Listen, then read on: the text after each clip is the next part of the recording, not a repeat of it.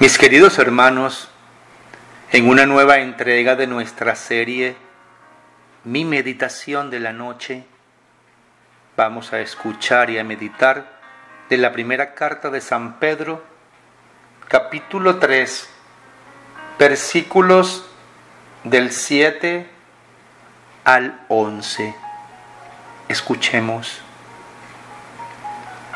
acerca del servicio a los demás. El cristiano ante la proximidad del fin. Ya se acerca el fin de todas las cosas. Por eso, sean ustedes juiciosos y dedíquense seriamente a la oración. Haya sobre todo mucho amor entre ustedes, porque el amor perdona muchos pecados. Recíbanse unos a otros en sus casas, sin murmurar de nadie. Como buenos administradores de los diferentes dones de Dios, cada uno de ustedes sirva a los demás según lo que haya recibido. Cuando alguien hable, sean sus palabras como palabras de Dios. Cuando alguien preste algún servicio, préstelo con las fuerzas que Dios le da. Todo lo que hagan, háganlo para que Dios sea alabado por medio de Jesucristo, a quien pertenece la gloria y el poder para siempre. Amén. Esta es palabra del Señor. Gloria a ti, Señor Jesús.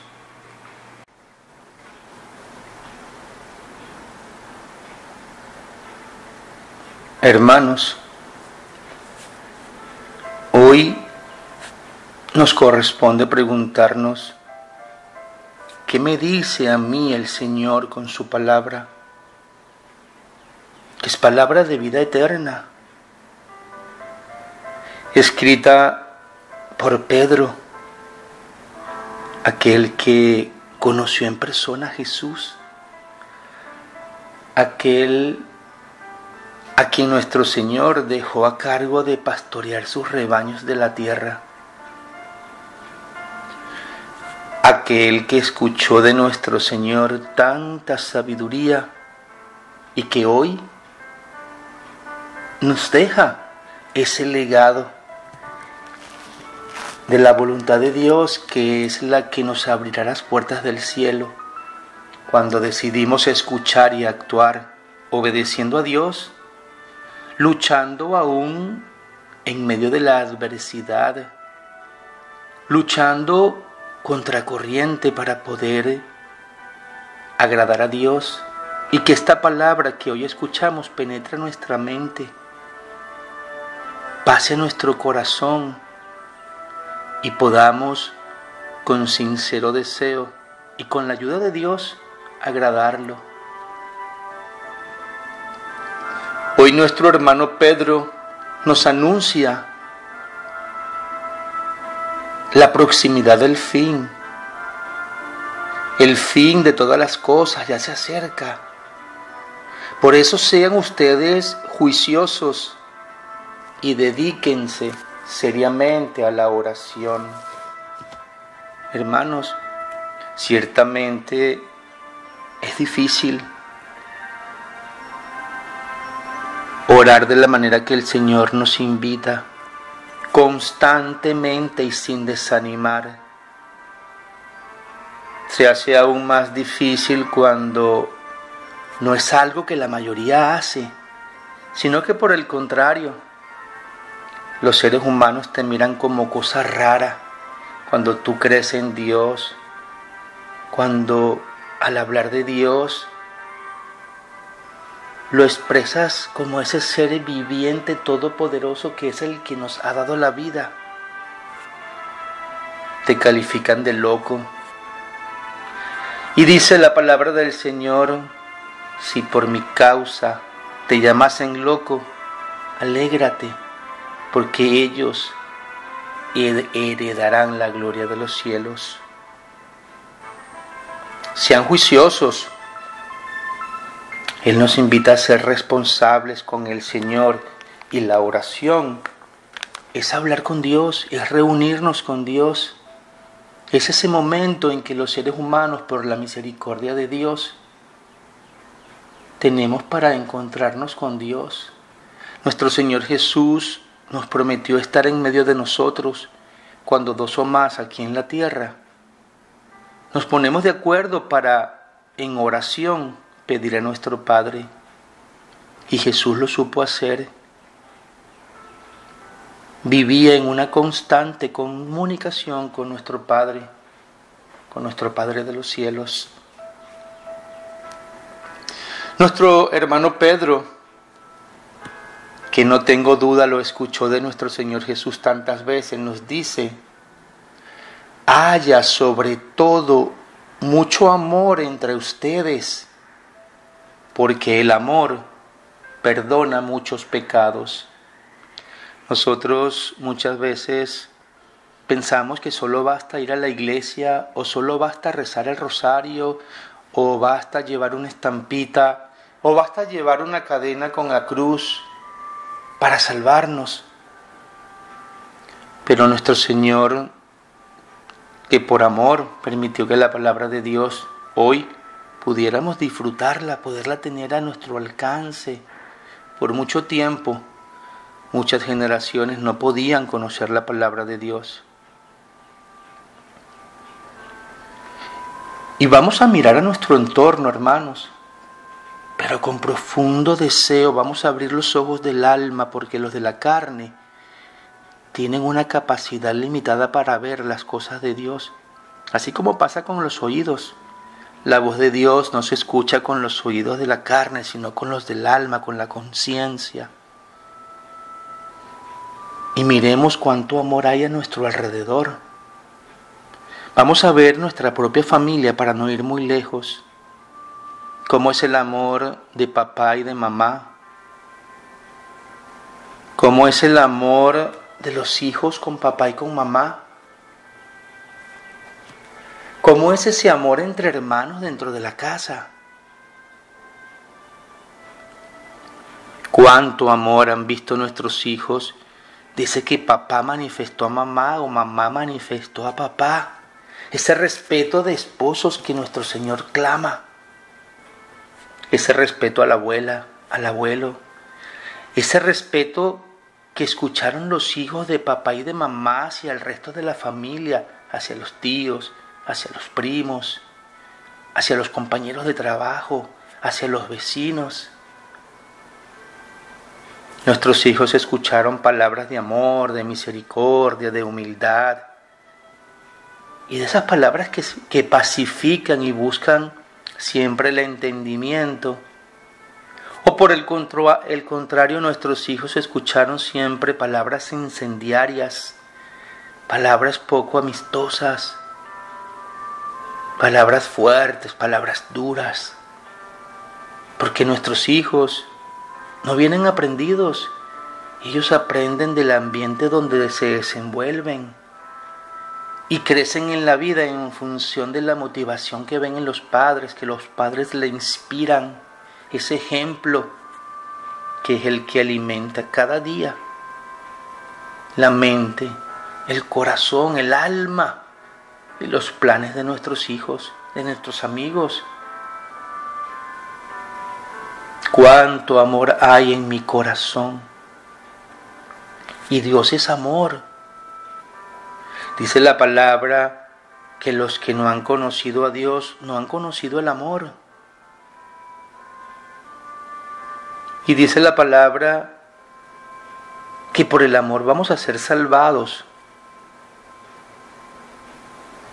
Continúa nuestro hermano y dice, el amor perdona muchos pecados. Recuérdense que nacimos manchados por el pecado original. Pecadores nos ha concebido nuestra madre. Y el amor va a perdonar muchos de nuestros pecados porque Jesús bien sabe que somos pecadores y como él mismo lo dijo, no vine a juzgaros, no vine, no vine a juzgarles, vine a que por mí encuentren salvación y vida eterna. ¿Cómo nos preguntaremos?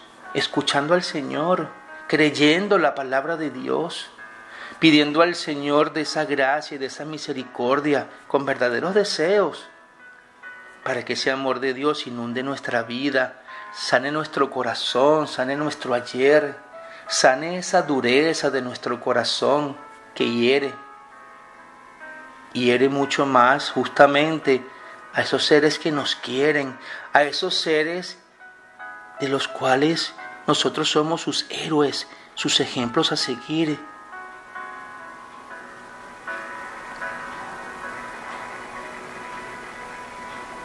Él sabe que somos pecadores y por eso no es por el pecado que nos va a juzgar, sino por el amor. Cuánto amé, cuánto bien hice, a cuántos pude ayudar.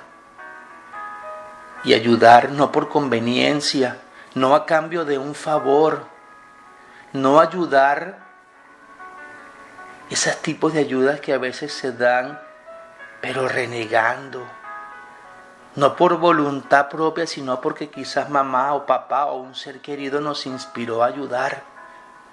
Cuando no podemos amar, es cuando más tenemos que buscar a Dios. Porque por el amor, el Señor nos va a abrir las puertas del cielo. Cuánto perdoné. Tenemos que apartar de nuestro corazón y de nuestra mente todos esos pensamientos de maldad, de viveza, de creerme más listo, más inteligente, porque yo y porque yo y porque yo. No nos conduce a nada ese yo-yo que a veces nos envuelve en una confusión terrible.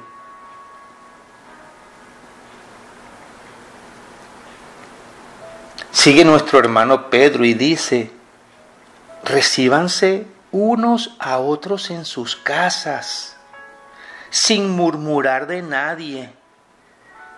Cuánto le encanta al ser humano el murmurar, el cuchicheo, y cuánto daño causa en aquel que se da cuenta que murmuras, cuánto dolor causa en aquel que sabe que no puede confiar en ti porque sencillamente no respetas la confidencialidad, esa confianza que alguien deposita en ti, no respetas el dolor del que sufre, sino que lo divulgas para entonces hacernos lo gracioso, sí, yo sí, porque yo no me equivoqué.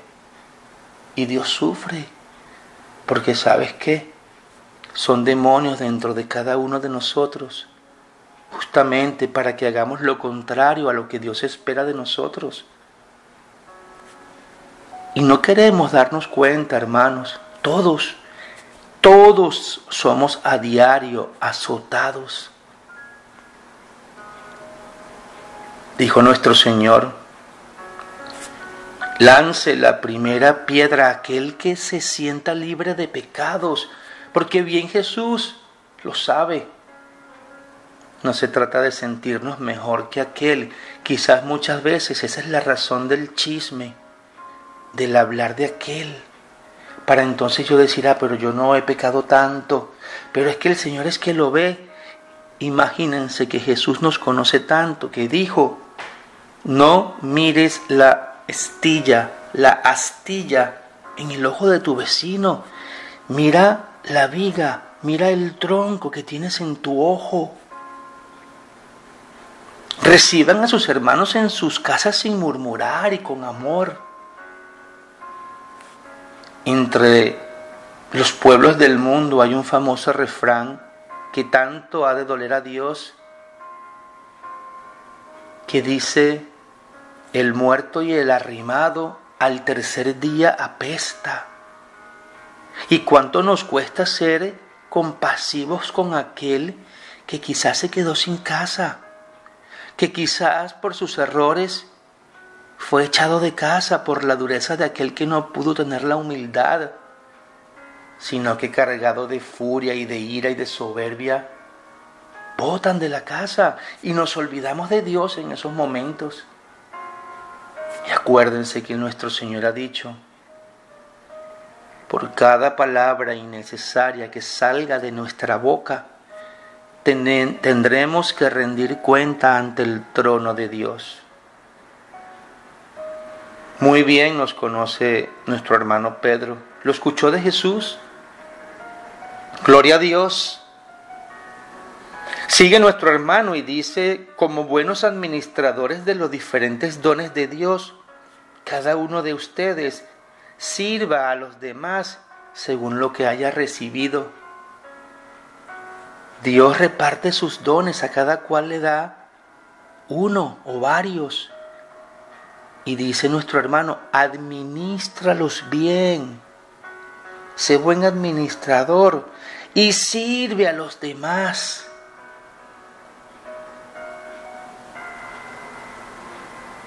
Sirve a los demás.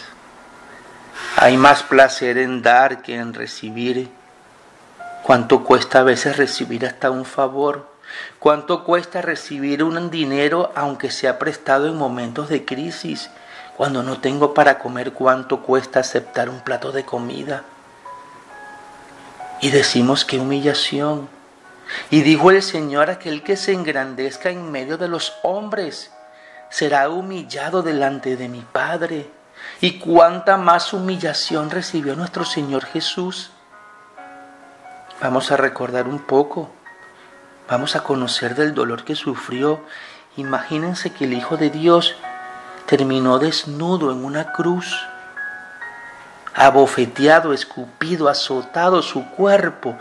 Dice la palabra que no tenía ya aspecto de humano y aún así tuvo que cargar la cruz con más golpes hasta el Calvario y recibir aquellos clavos y tener sed y darle vino agrio y ver a su madre allí en el piso mirándolo clavado como a un delincuente desnudo con una corona de espinas, destrozado, sangrante, con aquel cuerpo destruido y aquellos brazos estirados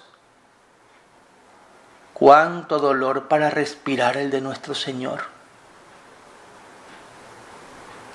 Tanto fue su dolor y su angustia que siendo el Hijo de Dios, clamó a nuestro Padre Eloí, Eloí, lema sabactani, que significa, Dios mío, Dios mío, ¿por qué me has abandonado?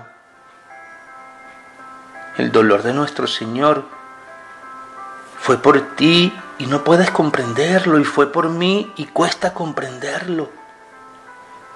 Porque aún no creemos verdaderamente que cuando este cuerpo muere, el alma va a la presencia de Dios, porque si lo creyésemos verdaderamente, sentiríamos temor de desagradar a nuestro Señor, de desobedecerlo. Imagínate la opción de permanecer en las tinieblas en un fuego atormentador o entrar al cielo a la paz eterna y a la vida eterna. Tenemos que pedir a Dios la fe, porque la fe es un don de Dios cuando lo creemos. Entonces eso es el temor de Dios. No es que Dios es malo, sino el temor a desobedecerlo. Porque es la ley de Dios y hemos sido advertidos. No entrarán al cielo no serán parte del reino de los cielos aquellos que no se arrepienten, aquellos que no están dispuestos a amar y a perdonar. Es Dios quien lo dice, hermanos. Nuestra dureza del corazón no tiene otro propósito más que el de Satanás, que es quien la pone. Perdición, condenación, tinieblas y fuego eterno.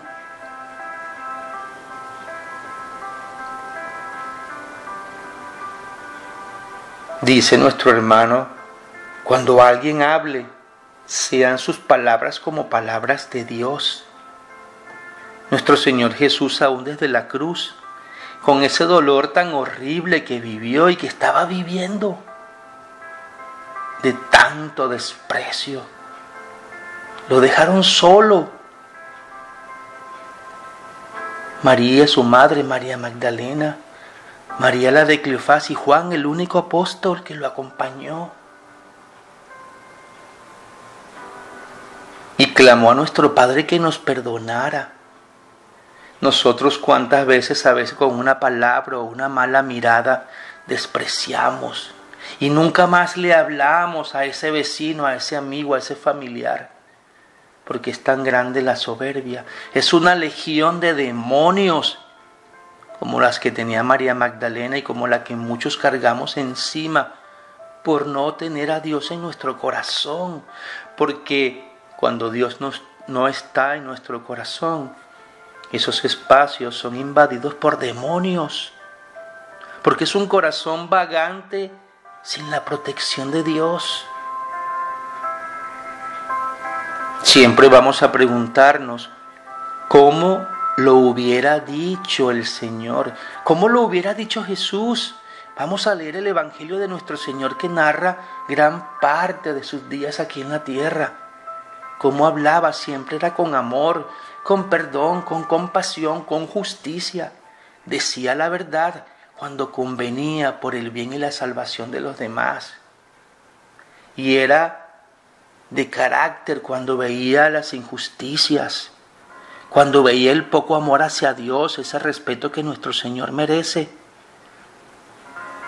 Y llamó hipócritas a muchos, porque Dios ve en nuestro corazón, en nuestros pensamientos y conoce nuestros planes y sufre cuando vea tantas almas que se van por esos precipicios sin fin, en sus malos deseos, en sus malas acciones, en sus malos pensamientos, en su egoísmo, en esa envidia que enferma el alma y el corazón.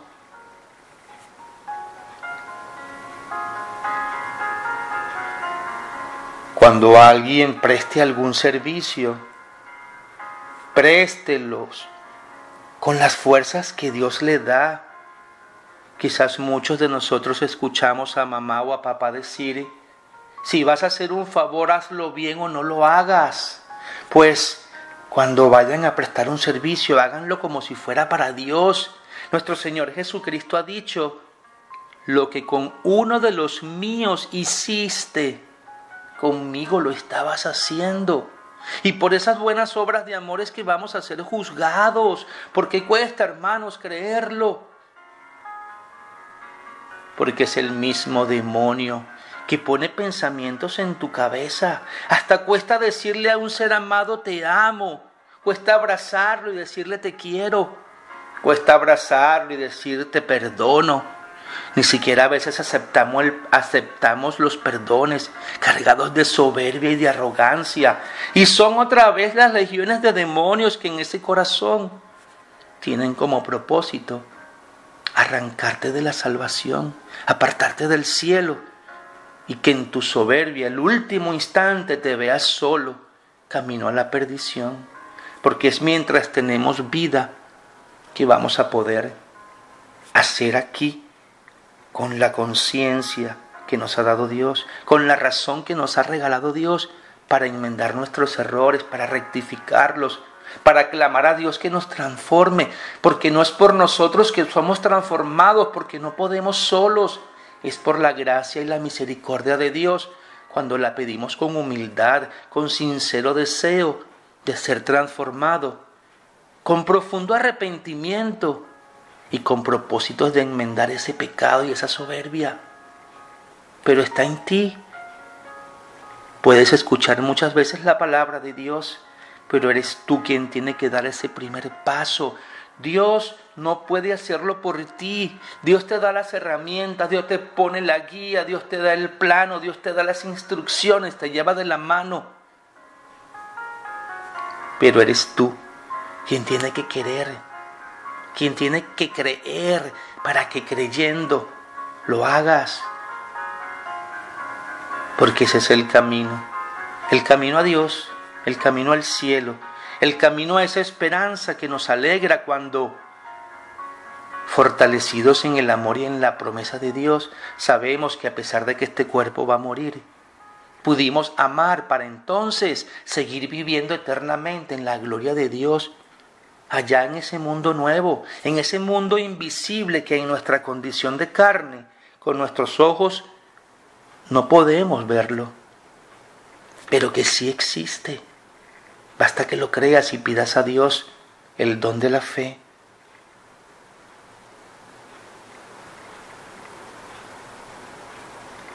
Y sigue nuestro Padre para terminar. Todo lo que hagan, háganlo para que Dios sea alabado por medio de Jesucristo, a quien pertenece la gloria y el poder para siempre. Todo lo que hagan, todo hermano, todo, hagámoslo para que Dios sea alabado para gloria de nuestro Señor, que es el único que merece honor y gloria. No estemos esperando que nos den gracias los hermanos, aunque sería lo correcto. Muchas veces no lo saludo porque no me saludó la última vez. Y no lo invito porque no me invitó. Y no lo felicito porque él a mí no me felicitó. Así lo hubiera hecho el Señor. Así hubiera actuado Jesús. Y los que conocemos a Jesús, hemos conocido también al Padre. Jesús nos reveló todo lo que su Padre, que es también nuestro Padre y Creador, le pidió que nos revelara. Está en ti hoy, mi hermano.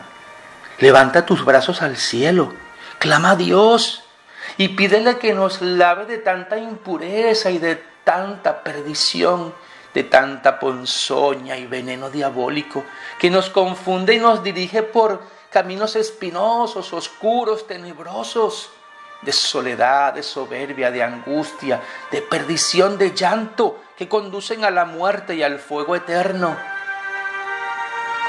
Clama a Dios, oh Señor Dios, oh Padre eterno, por ese amor con el que Jesús vino a liberarnos. Hoy libérame, Señor, Hoy libérame de todas las fuerzas perversas que intentan apartarme de ti. Y crea en mí, oh Dios amado, un corazón nuevo. Oh Señor mío y Dios mío, perdona mis miserias. Lávame, Señor, con la sangre de Cristo y restaurame. Rompe este vaso, Señor, corrompido. Y hazlo de nuevo.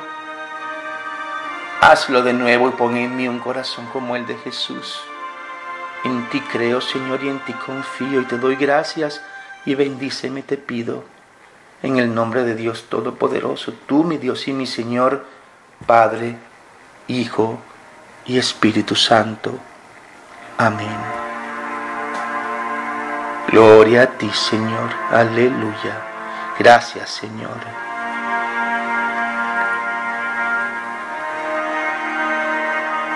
Aleluya, Señor. Gloria, aleluya por siempre.